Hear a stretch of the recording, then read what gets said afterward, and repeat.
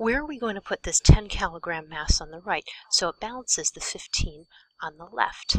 Let's take a look. Balance means that the torque on the left has to equal the torque on the right. The torque on the left is provided by the weight of the 15 kilogram mass over on this side. When we've successfully balanced the balance beam, then this beam here will be at 90 degrees and we won't need to worry about sines or cosines. So we will have the weight of the 15 kilograms times the lever arm or radial distance from here out to here, that's one meter.